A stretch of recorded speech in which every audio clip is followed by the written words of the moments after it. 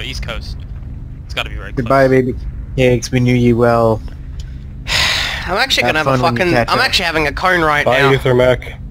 All right, so the trick is is on the original blackjack baby cakes, or sorry, not blackjack. Um, what do you call it?